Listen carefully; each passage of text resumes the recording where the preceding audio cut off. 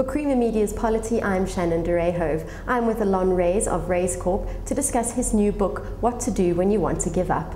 Many people see entrepreneurship as one of the key answers to South Africa's high unemployment and economic problems. Would you agree with this? And do you think South Africans have what it takes to be entrepreneurs? Yes, and yes. So I think entrepreneurship is one of the uh, arrows in our quiver to, to solve our economic problems because entrepreneurs employ people. Um, and I do think South Africans have what it takes.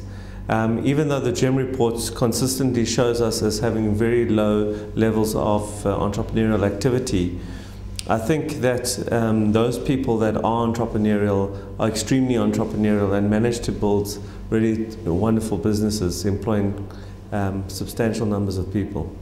So if you look at the international standard, on average an entrepreneur would employ 40 people in, in, in their, in their lifetime as an entrepreneur. How important is a book like this one in today's economically uncertain times? I think it's critical because when you look at the research around business failure, there's a, there's a number of statistics flying around. 96% of businesses will fail within a 10 year period.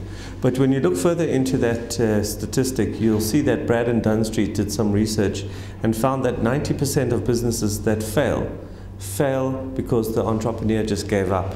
In other words, only 10% of businesses that fail, fail because some third party forced them into closing their business down. That means there's a huge opportunity for those entrepreneurs that are thinking about giving up, not to give up. And I was particularly in that situation a couple of years ago where I wanted to give up. I got a, a meeting with somebody who gave me a completely different perspective around my business.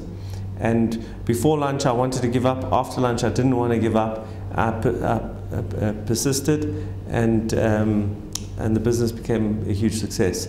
So sometimes one makes a decision that is emotional, where if you look at it very, very um, clinically, you can see it might not be the right decision to give up. Your book focuses on what budding entrepreneurs should do when their businesses are going badly and they feel like giving up. What is your advice in a nutshell?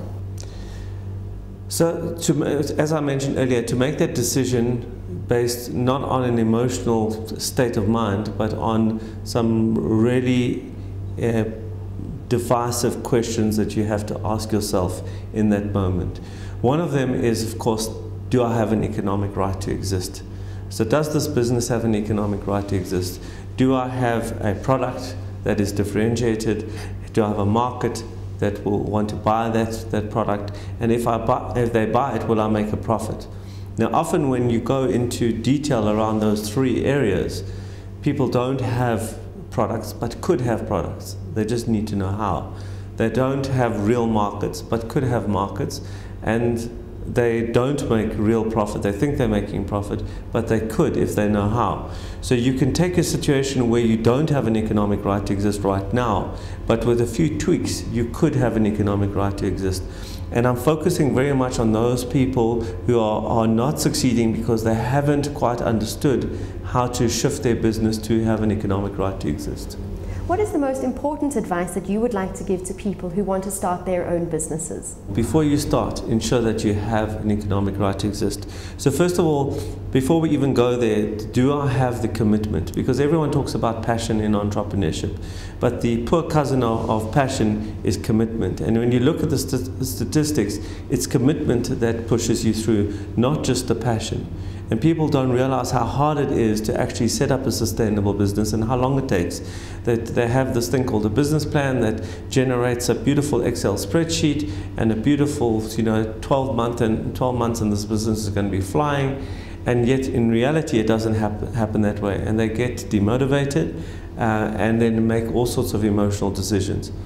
So um, important to understand whether they have got the commitment. Second of all, do they have the economic right to exist, which we've spoken about earlier.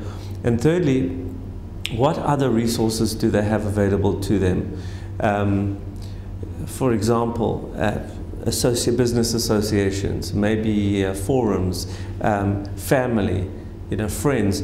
If I look at my, my journey as an entrepreneur, in my darkest moments, I lent on my friends, not only for, for advice, but for money as well. Um, I, I, reached out to, to business associations to help me for, with input. And it's important when you're starting a business to understand what you have so that when you get to those really dark moments, you can reach out and know where to reach out to. Now, on those dark moments, which business person inspires you most and who encourages you not to give up when things get difficult? I think there's two people. The, the first um, is, in, in, as I mentioned before, the, it, the, there was a time where it was the 20th of the month, I had 40 people in the business, I had no idea how I was going to pay salaries, no idea I was going to pay rent and I had maxed out, my investors wouldn't invest anymore. I'd maxed out all my overdraft on, on uh, my uh, different bank accounts. And so I'd, really, I was, at, you know, to me at a dead end. And this man, his name is Stan, and I mentioned him in the book, phoned me up and said, come for lunch. And he asked me questions about the business, and he got so palpably excited about what I was doing. And at the beginning of lunch, I wanted to give up. At the end of lunch, I didn't want to give up. And he was that, that guy. But I also have a mentor, um, you know, who was one of the people who discovered, in inverted commas, discovered me in my 20s and supported me through my journey. But if I had to talk about one person that really inspires me, it's not the big name items. It's somebody no one knows. It's a lady called Joy Maloya from Alexandra Township, who in her early 20s through very, very traumatic circumstances, landed up inheriting a plumbing business, which she knew nothing about. She was, she had, she had gone to America. She was the first time overseas, first time on aeroplane, etc. Her dream was to become a travel agent. Her father passed away, and they called her to say, "Come back to bury him." So she lost her, her father, and then she lost her dream, you know, which was to become a, a travel agent. And at the airport OR Tambo, she met with her, her mom, gave her a hug. Her mom had a stroke in her arms and died in Tambo. So now she was, she'd lost her mother, father, and her dream. She was now the head of the household, brother and sister, both in, in you know, school in, in uh, Alex. And she had a big decision to make. And she had to, was she going to take over this business? She knew nothing about plumbing and she decided that was what she was going to do. And fast forward the situation a couple of years later, she is a multimillionaire, lives in Bedfordview, she drives a fancy SUV, but more importantly, she put her brother and sister through private school and her brother through Wits. And she is my hero because here's somebody who comes from absolute abject poverty and has, through sheer determination, you know, become successful. And she's my hero. Finally, are entrepreneurs born or made? It's the wrong question. And I'll tell you why it's the wrong question. Because a couple of years ago, some research came out in the States which showed the most successful first time entrepreneurs were 60 plus. In other words, you had the lowest rate of failure. In that echelon of entrepreneurs, you had the lowest rate of failure.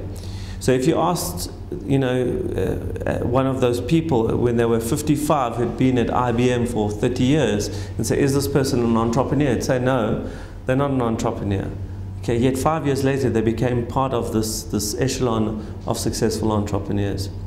So the question, are they born or made, is the wrong question. I think five conditions need to be in place.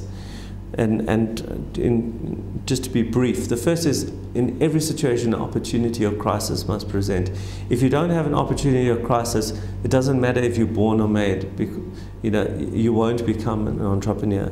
Secondly, you have to have a tolerance for pain, okay? Because there's huge amounts of rejection uh, as an entrepreneur, and the un underlying sort of input there is self-esteem, and that can shift in your lifetime. The third condition is a tolerance for risk.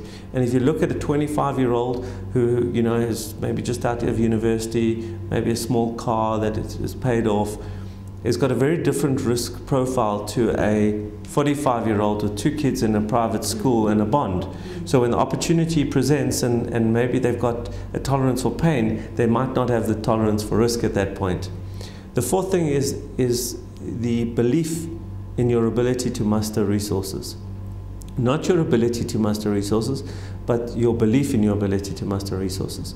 So if you look at the Joy Malloy story, you will see that she wasn't a plumber, but she believed, given the crisis, okay, that presented her father passing away, she believed she could get other plumbers to take advantage uh, of opportunities which she had seen to get work at, you know, Rand Water, Group 5, etc. And she put that together. So her self-belief is once again underpinning um, input there.